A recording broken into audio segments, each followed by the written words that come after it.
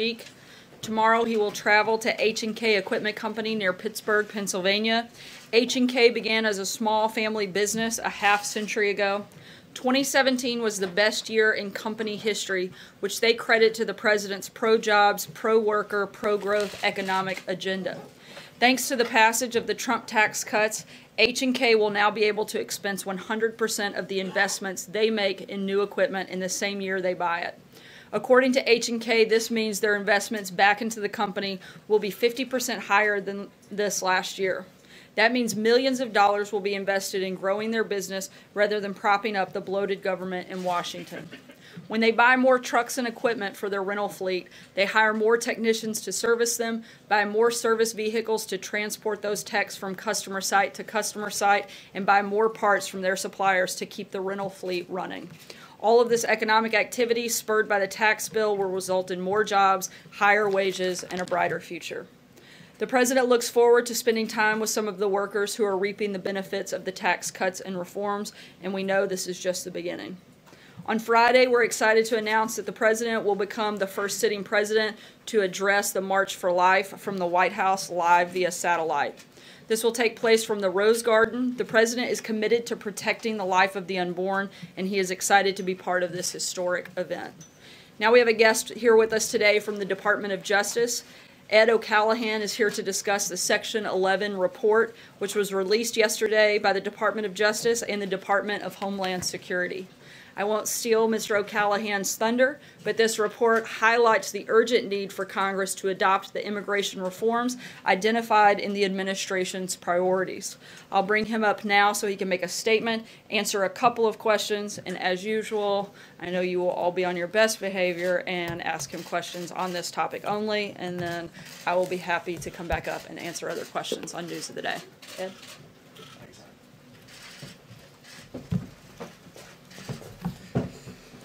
Good afternoon. My name is Ed O'Callaghan, and I am the Principal Deputy Assistant Attorney General uh, in the Justice Department's National Security Division. Uh, in my capacity as Principal Deputy, I assist the Acting Assistant Attorney General in the supervision of the 350 dedicated investigators and prosecutors who carry out the Department's highest priority, protecting the United States from threats to our national security. I've been with the National Security Division since November of last year, uh, previously, from 1999 to 2008, I was an assistant United States attorney in the Southern District of New York. Uh, from 2005 to 2008, I was co-chief of the Terrorism and National Security Unit uh, in the Southern District of New York.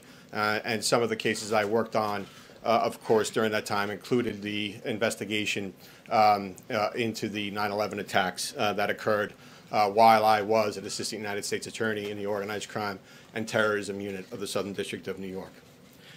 I appreciate the opportunity to speak with you today about yesterday's release of the Department of Justice and Department of Homeland Security Section 11 report.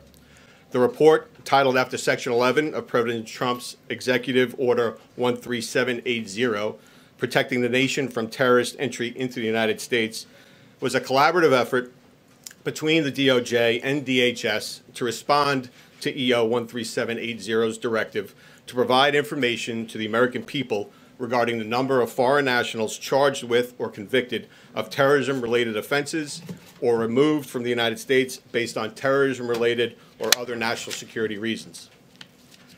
The Justice Department's National Security Division maintains a list of individuals convicted of international terrorism-related charges in U.S. federal courts between September 11, 2001 and December 31st of 2016. As indicated in the report, as of December 31st of 2016, there are 549 individuals on that list of convictions of terrorism, international terrorism-related offenses. A subsequent DHS analysis of those 549 individuals convicted of international terrorism-related offenses determined that approximately 73%, or 402 of these 549 individuals, were foreign born. A further breakdown of the U.S. citizenship status of these individuals at the time of their respective convictions shows that 254 were not United States citizens, 148 were foreign born, naturalized, and received U.S. citizenship, and 147 were citizens, U.S. citizens by birth. I'll point out that one of the cases that's highlighted in the Section 11 report refers to um, a defendant uh, who we convicted in the Southern District of New York named Uzair Paracha. Uh, Mr. Paracha uh, came into the United States, I believe, in 1980 um, as a family member of a legal permanent resident. Uh, Mr. Paracha was ultimately convicted of providing material support to Al Qaeda. Uh, it's a case that I supervised when I was chief of the terrorism unit in the Southern District of New York. Uh, the evidence in that trial showed that Mr. Paracha attempted to assist other individuals who are affiliated with Al Qaeda uh, to try to uh, enter the United States based on false statements in immigration documents. And in fact, Paracha assisted and uh, took on the persona of one of the individuals who he was attempting to try to get back into the United States uh, to commit terrorist acts here. Uh, the individual statements provided by that individual uh, demonstrated that he was attempting to come back into the United States uh, to commit uh, attacks on gas stations in New York, my hometown. Um, and by the fact that we were able to prosecute Paracha um, it stopped that uh, attempt uh, to engage in additional terrorist attacks here in the United States. Additional items included in your report um, demonstrate that the U.S. Immigrations and Customs Enforcement uh, provided information that shows that there have been approximately 1,716 removals of aliens since September 11, 2001, because of national security concerns, a designation that is determined by uh, ICE within the Department of Homeland Security. Um, obviously, there are certain times where, uh, although there are national security concerns about foreign-born individuals who are in the United States, uh, a federal prosecution for one reason or another um, is is not the, the suitable uh, way to go about dealing with the threat uh, posed by that individual. So the immigration authorities have other tools at their disposal. One of them being the removal tool uh, which is cited by ICE in the Section 11 report. Uh, it is the case that the threats to our national security are not showing any signs of relenting. In fiscal year 2017 alone, uh, DHS encountered 2,554 individuals on terrorist watch lists, formerly known as the F FBI's terrorist screening database. Uh, those individuals were, of course, attempting to get into the United States. Additional important statistics provided by DHS and documented in the report include the fact that between October 1st, 2011 and September 30th, 2017, a total of 355,345 non-citizen offenders were administratively arrested uh, after previously being convicted of an aggravated felony or two or more crimes, each punishable, punishable by more than one year, a regular felony.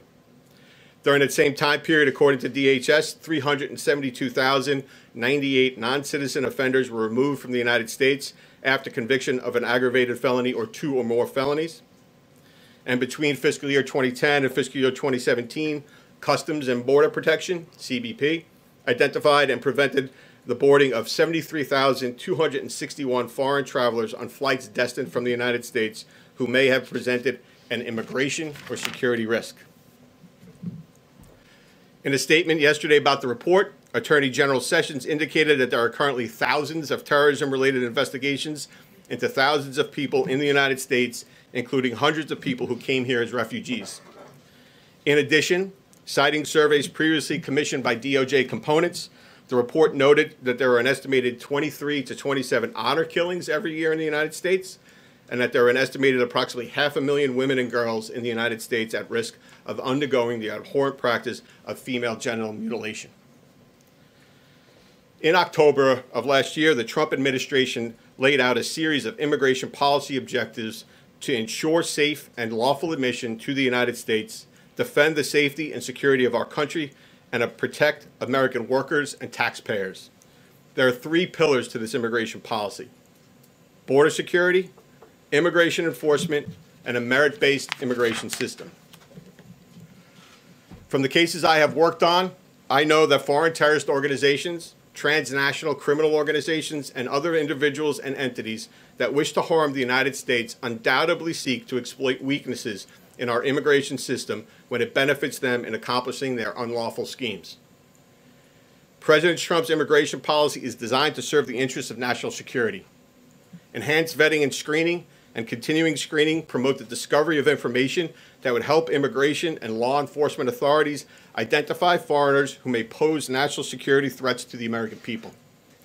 Rather than basing admission decisions on programs that lack accountability, like diversity visa lotteries and extended family chain migration, adopting a merit-based system rewards skills and qualities that include, but are not limited to, education, English language proficiency or fluency, and/or job skills. As a prosecutor tasked with protecting our nation's security, I know some of our cases have involved exploitation of vulnerabilities in our current immigration system. The Attorney General is committed to restoring law and order in our immigration system so that we can address and work to eliminate the vulnerabilities that can be exploited by those seeking to undermine our public safety. Those are my brief remarks. I'm happy to take some questions. Sir, in the middle. Uh, Thank you. Uh, Do you find it alarming that more than 25% of people convicted of terror, international terrorism-related charges were natural-born U.S. citizens? And what is the administration doing to address that issue? So the Department of Justice's um, uh, enforcement uh, of the international terrorism laws are focused on the conduct uh, of that is the, found to be committed by individuals, no matter you know where they're born. Um, the the statistics that you have for the first time uh, compiled in this way in response to uh, the uh, the executive order and directives therein demonstrate that uh, the international terrorism offenses that uh, we have prosecuted in the National Security Division and achieved convictions on, that there's 73% of foreign born. We're going to prosecute anyone that we can make cases against uh, that are posing threats to the national security of the United States. The statistics that are brought before you in the Section 11 report respond directly to the directive in the executive order about international terrorism offenses, and now those are the statistics that my division, the National Security Division, keep. Mr. Collins? Sir, middle. Thank you. Thank you, sir. Um, John- Oh, uh, Thank Yeah, you. my question is. Okay. Yeah, thank you. You're next. Yeah. uh, Very simply this, has there been any change in the administration's stated policy about using Guantanamo in dealing with international terrorists? No. I'm not aware of any change in, in the administration's um, um, uh, stated uh, use of the Guantanamo. Um, um, the administration is committed uh, to enforcing our terrorism laws and any law that we can against anyone who will uh, present harm or threats to the United States. There are um, considerations as to how any potential case uh, may be um, addressed so that any threat that is posed by any individual is, is neutralized. Um, I, the administration and Attorney General Sessions are committed to consider all options uh, as to how we can neutralize any threats posed by anyone um, that may fall into a, a terrorism category. So Guantanamo is still going to be around for a while and there's no plans to close it at all? I, I'm not aware of any administration plans with respect to Guantanamo. I can tell you it's still around. Sir. Thank you. Uh, I'm hoping you can uh, explain some of your uh, logic here a little further because you talked about the immigration system and reforming the immigration system to protect Americans in, the United States. But a lot of the crimes that you're using as examples to justify uh, changing the immigration system are crimes that were you know, attempted crimes or would have taken place outside the United States, people wanting to travel outside the United States to fight, uh, providing support to fighters outside the United States. And I understand there's a, a nexus there with uh, U.S. forces in, in those regions, but the if the point is to reform the immigration system to protect Americans, can you provide more information, more statistics that show doing so would have prevented people from coming in who committed more crimes inside the United States? Do you have maybe better examples that fit what you're trying to say? So the, the, a few points to that. One is this is the first iteration of, of this report in response to the executive orders directives, and we, in working together with DHS, certainly expect to have more statistics uh, and address some of the issues we weren't able to address in this initial report in, in future uh, iterations of, of this report. Uh, I, in, in terms of the cases that are reported, um, I mean, if you do look at the cases, um, some of which are included in the Section 11 report, Um, there are certainly cases uh, that relate to conduct uh, that has been committed in the United States, um, conduct that um, is in support of, for instance, Al Qaeda or ISIS. So there are plenty of examples uh, of, of conduct that was actually committed in the United States, which would, in, in the way that we define it, uh, qualify as an international terrorism investigation because it relates to a foreign terrorist organization or uh, terrorism conduct. So, secondly, I mean, thirdly, I would say, um, of course, we're trying to prevent um, through any way we can, and the administration, of course, supports us. We're trying to prevent terrorist attacks. Um, and so, the most successful prosecution that I've ever been involved with um, are ones where we actually are able to stop it at a conspiratorial stage, uh, so that there are individuals who clearly, through their conduct and their activity and, and what they're saying, um, are agreeing to commit a terrorist act in furtherance of the goals of a foreign terrorist organization. But we, in, in conjunction with our law enforcement partners, are able to prevent it, convict them, and then they'll, they'll be included in our international terrorism offenses. Sir, I'm just trying to figure out, and, and maybe I'm not understanding this, how, uh, how preventing uh, people from coming in uh, who were conspiring, for instance, to go fight know, in Syria would have protected people in the United States. These are international terrorism crimes, and they weren't all uh, they weren't all you know planning attacks in the United States. They were planning things overseas. And you want to reform the immigration system, and it seems like the focus there should be on things that people did in the United States to people in the United States. So the, the, the administration um, immigration um, or reforms focus on uh, getting more information, um, uh, enhanced screening, enhanced vetting, more information, more a- agents, more officers asking more questions, more prosecutors uh, uh, uh, prosecuting more cases. All of that, uh, in conjunction with all the other national security efforts uh, by the administration, um, will lead to um, uh, a, a, a safer um, uh, a safer United States. Um, I firmly believe that. Um, and um, I know that the fact that there are individuals here in the United States that are willing to, um, in in support of, um, in support of uh, ISIS-related um, philosophies, uh, engage in and talk about engaging in committing acts here in the United States that we're able to prevent. I think that that makes the American people safer, and I know the Trump administration does. Sir, Given that the discussion today is focused on national security, which is your area, I'd like to ask about national security as it relates to the arrest recently of that ex-CIA agent, Mr. Lee. Can you talk about the significance of that arrest and why action was not taken against him sooner? So that, that I, I, I will say that that, uh, that is a very important arrest, um, as demonstrated in, in the complaint um, that was unsealed related to that case. Um, that former CIA officer retained classified information. Um, as that case uh, uh, proceeds through the courts, um, I would expect that more information about the conduct um, that underlies those charges in the complaint will come out.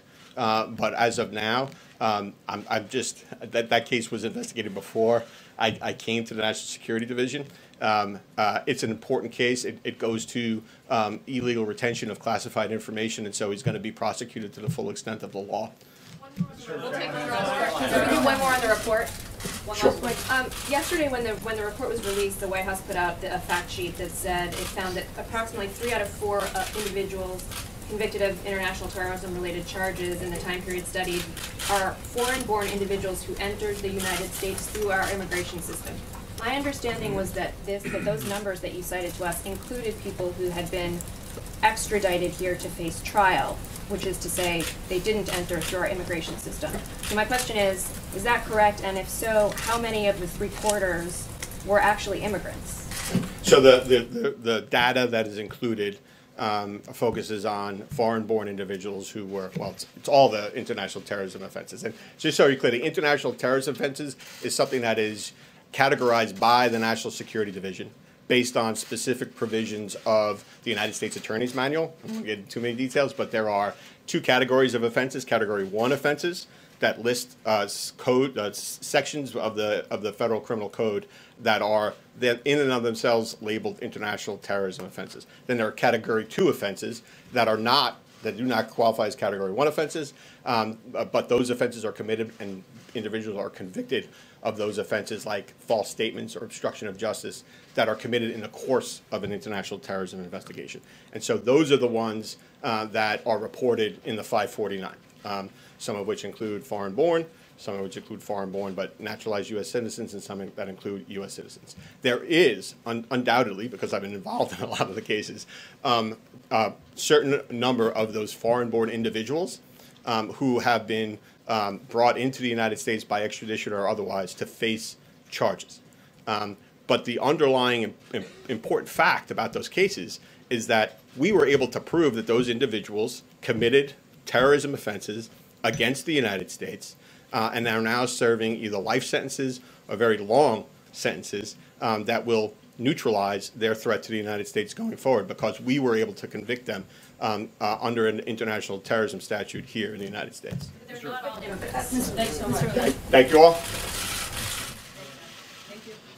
Thank you, Mr. O'Callaghan. Uh, We'll save time and we'll jump straight into questions today. Uh, Saagar, go ahead. Great. Uh, Sarah, there have been some suggestions in the media today that the president does in fact suffer from heart disease, that his weight is larger than was indicated yesterday. Um, Does the White House stand by Dr. Jackson's report? Absolutely. Uh, Dr. Jackson has been a White House physician for the last 12 years, uh, trusted by Presidents Bush, President Obama, and now uh, President Trump. He is the only doctor that has weighed in on this matter that has actually examined the president. And so uh, I think a doctor that has spent the amount of time with the president, uh, as Dr. Jackson has, is not only the most qualified, but the only credible source uh, when it comes to diagnosing any health concerns. And um, we support what he said yesterday 100% that the president is in excellent health. And uh, I think he exhausted just about every question that you guys have and showed probably that he's in pretty good health too to stand up here for an hour and take questions. John? Uh, Not too long ago, uh, Senator Jeff Flake of Arizona took the Senate floor to again denounce the president, this time likening him to Stalin in his approach to the, toward the media, saying that he's inspired dictators the world over. This is uh, of a pair with a statement from Senator John McCain, saying that the president should stop attacking the press. At some point today, you're supposed to give out fake news awards. What do you think of what Senators Flake and McCain have said, and what's up with the awards?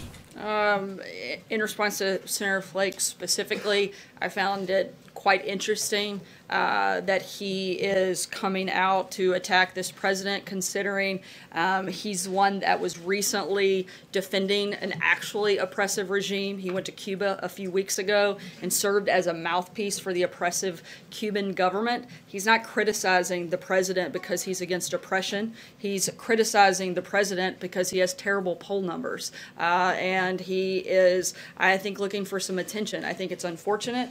Um, and certainly, I think our position here at the White House is that we welcome access to the media every day. Uh, I'm standing right here taking questions. The president does so regularly, and to act as if we're anything but open to that back and forth exchange is utterly ridiculous. What about Mark, following on what Senator McCain said and then the awards today?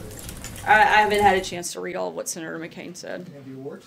Uh, we'll keep you guys posted. It'll be something later today. Margaret. Um, we'll be looking for that. Uh, Sarah. I know you're all waiting to see uh, if you are big winners, I'm sure.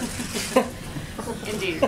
Um, there's been frustration from both Republicans and Democrats who were in the room yesterday uh, with Steve Bannon when he was being asked about uh, some of the claims that he's made about this administration and the, the president's family. Um, but specifically, some of the criticism has been aimed at the White House because of guidance that has supposedly been given as to what can and cannot be said, specific topics that are off limit, and the scope of executive privilege. Uh, without getting into the details of that, can you at least define for us what the White House is telling uh, attorneys uh, falls into the scope of executive privilege here? Yeah, I can I can tell you that uh, this White House is following the same practice that uh, many White Houses before us have that have gone back decades. That there is a process that you go through anytime you have uh, congressional inquiries touching upon White House. The con- Congress should consult with the White House prior to obtaining confidential material. Uh, This is part of a judicial recognized process. Uh, We want to follow through that. We've been fully cooperative with the ongoing investigations, and we're going to continue to be- do so. And we encourage the committees to work with us to find the appropriate accommodation in order to ensure Congress obtains all the information that they're looking for. But there's a process this, this works through, and it's not just isolated to this instance. Uh, Executive privilege is something that goes back decades because it's something that needs to be protected, whether it's uh, during this administration or one 20 years from now. We want to make sure we follow uh, the process and the precedent, and that's all that's taking place here. the scope of that executive privilege, not just the time in the administration, but time after and time during the transition, is broader than it has been in past administrations. I can't speak to the details of that. I can simply talk about the process uh, and that we're following um, the same uh, process and past practice of previous And administrations. are there alternative categories that the White House? Again, I can't get into the details. I can only discuss the process. Ashley? Thank you. Following on that question, there's a news report out today that Steve Bannon's attorney was relaying the questions he was asked by the Senate Intel Committee in real time to the White House. Um, and so my questions are, who was he relaying the questions to? Is that something the White House specifically asked his attorney to do? And if so, why did the White House think that was a necessary step in handling Bannon's testimony? That's the same process that is typically followed. Sometimes they actually have a White House attorney present in the room. This time it was something that was relayed via phone, um, and again, was following standard procedure for um, an instance like this, and something that will likely happen again on any other number of occasions, not just within this administration, but future administrations. Jordan? Thanks, Sarah. Uh, the, the House Republican leadership is proposing a funding bill that would provide the government funding for through February 16th and reauthorize CHIP for six years. Is that a proposal that the White House supports? Uh, we do support uh, the short-term CR. Uh, however, that's not our first choice. We'd still like to see a clean funding bill, bill a two-year budget deal, uh, but we do support the short-term uh, CR. But we're going to continue moving forward in that process. Ken. Sarah, does the president think it's acceptable for Republicans or Democrats to allow a government shutdown at the end of the week? And you have obviously different options here, but does, does he think it's acceptable for a, a- a shutdown to occur?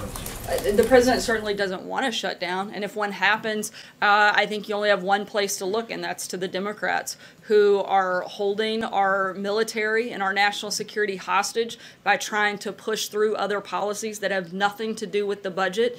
Um, we would like to again get a budget deal done, a two-year budget deal, a clean budget deal, and then focus on uh, negotiations Following that, that deal with uh, finding a permanent solution to DACA and responsible immigration reform.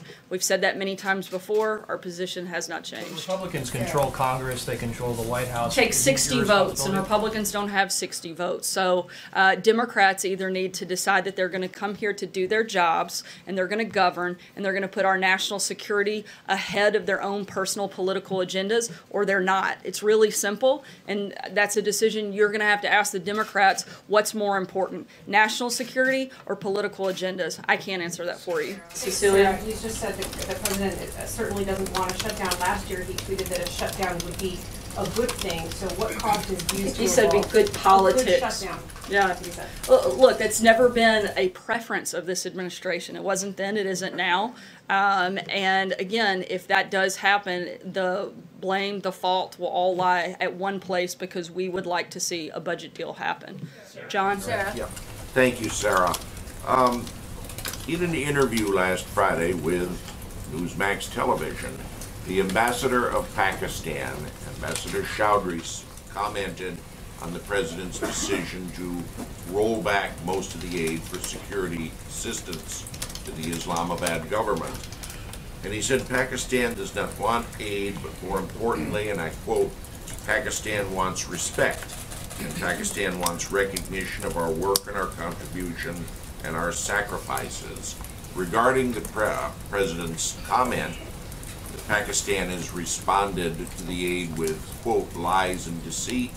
He simply said, we won't dwell on that part because it's not beneficial to either party. Your response to Ambassador Chaudhry? Uh, look, our, our position is, uh, firm that we believe that withdrawing that aid is important. Um, and I would refer you to the State Department on anything beyond that. Stand by the lies and deceit comment that the president made. Yes. Thanks, sir. Two questions here. I just going to follow up on a couple of my colleagues' questions here um, on negotiations, but on the first point about Steve Bannon. Understood your points about process and how this all works, but sort of broadly, is the White House afraid of what Steve Bannon might say in these interviews? Uh, Not that I'm aware of. I think we've been pretty clear what our position is uh, in regards to this entire process, that um, there was absolutely no collusion. Um, But in terms of, you know, what he might say, I, I can't answer that. I can't speculate on that. Um, I can simply tell you that we're following the procedure, whether it was in this committee or any other committee down the road. Uh, This is a process that's important to protect, and that's what we're doing. And on negotiations, the president has talked about wanting to find a bipartisan solution. You said you want Democrats to come to the table. If there is a government shutdown uh, in, what, three days from now, does the buck stop with President Trump? I'm not sure how it would. The president's laid out what he wants. He wants a budget deal. He wants to have Republicans and Democrats agree on a budget, and we're happy to talk about other things. Um, but the budget should not be tied to a political agenda that the Democrats are driving. Those are two very separate things. Mike? There's, uh, some legal experts are suggesting that the subpoena for Bannon shows this investigation is becoming more, more aggressive instead of winding down. So a couple questions. Is the president prepared for this investigation to last uh, into the months to come? And uh, uh, following up on Hallie, are you, would you encourage Ba- Bannon to tell all, like he, like his camp is saying he will, uh, to Mueller? Uh, look, as we've said, regardless of who it is, uh, we're going to be fully cooperative with the special counsel uh, and encourage everybody involved in the process to be fully cooperative. Um, the first part of your question is, were, are we prepared? Uh, I, I think we've been dealing with this hoax for the better part of a year. If we have to en- endure the ridiculousness for another month, we can certainly handle it. Do the American people deserve that? No, I don't think they do. Steven? In the interest of of clarity, uh, you've spoken of how the, you know, the White House counsel's office has been involved in this process up on the Hill. Has the White House, to this point, actually asserted executive privilege, or are you talking about the potential? that I'm talking about the process. I can't go any further than that. Quick question on the CR. Uh, You speak of how the president would like to see a short-term CR passed. Is he going to lean on the fellow Republicans who are in the House Freedom Caucus to see to it that they vote for it? Uh, like I just said, we support uh, the short-term CR. Our preference is the longer two-year budget deal, but we support the short-term. The answer Would be yes, that he will encourage the House Freedom Caucus to vote for it? Uh, yes, like I said, we, we support the short-term uh, and think it is certainly better than not having that and having a government shutdown as the alternative. Um, But again, our preference would be uh, a longer-term deal. Blake? Sarah, when you look at the, the calendar then, January 17th, the budget deal potentially that goes to February 16th, the DACA expiration is up March 5th. Does the president want to see a DACA deal get struck before the next uh, CR would end, or is he willing to potentially take this up to the deadline in early March? Uh, look, I, I, think what we'd like to see happen is let's make a budget deal by Friday, and then uh, let's come back to work aggressively on Monday and make a deal on DACA and responsible immigration reform. We'd like to do all of those things, and we'd be happy to do them quickly if Democrats are willing to work with us and get on board. We're rolling out an infrastructure plan this month, so if the DACA, if the CR gets passed this week, is priority number one next week DACA or, or trying to get support together for infrastructure? Look, we, we very much want to get a deal done on DACA. Uh, that's a big priority for us right now, but we can certainly manage uh, more than one thing at a time, as we're used to doing around here. And if, if infrastructure gets rolled out by the end of the month uh, or the first part of next month, we'll certainly uh, be working on that as well. Kristen? Sarah, thank you. This weekend, uh, President Trump planning to go to Florida and apparently some celebrations for one-year anniversary of his inauguration. Is that appropriate if there is in fact a government shutdown, or would he consider changing his plans? Again, we hope that uh, Republicans and Democrats will come together and that we'll have a budget deal. We still are focused on that being our top priority. If that doesn't happen and there's a schedule change, we'll certainly let you guys know. How does he see his role, Sarah, in getting the ball over the finish line? I know you're pointing the finger at Democrats, but bottom line, he's the president. So how does he plan to make sure this government stays open? Uh, Look, we're doing everything we can uh, to encourage members from both sides to make sure that we get a deal. The president has made very clear that his number one priority is our national security uh, and fully funding our military, and that would be obviously uh, something of utmost importance. And I would think that Democrats should share that same uh, passion and priority as the president, and hopefully we don't have to, you know, go through this process come Friday. I'll take one last question. Lou, go ahead. Uh, Thank you, Sarah. Uh, um, North Korea and South Korea have agreed to march together during the Winter Olympics in the opening ceremony um, under a unified Korea flag. Does the President, the White House support uh, both North Korea and South Korea um, marching together and um, coming more closely together during the Olympics? Look, uh, we see this as an opportunity for the regime to see the value of ending its international isolation by denuclearization. We still are very much focused and hope that that happens. Um, this isn't the first time that the two countries have marched together, and we hope that this experience gives North Korea and its athletes a small taste of freedom, and that rubs off and is something that spreads and impacts uh, in these negotiations and in these conversations. Thanks, guys. Take one more.